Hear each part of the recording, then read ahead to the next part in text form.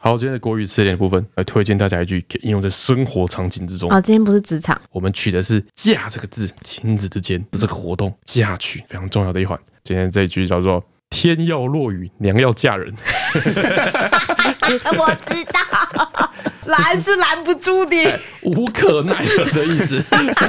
无可奈何，典故非常的出名。元末朱元璋采纳这个刘伯温之言，令军民这个高筑墙，广积粮，缓称王。嗯他就是防守，防守就对了。全机上下呢，都以积粮为第一大事，视粮为宝，存粮非常的重要。这只要天气变化，他们就赶快就把粮食搬进仓库里面。所以大家都说，天要落雨，粮要借营。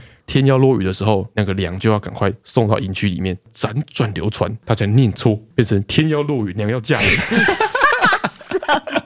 借营太难念了，变成娘要嫁人，合情合理，一样无可奈何。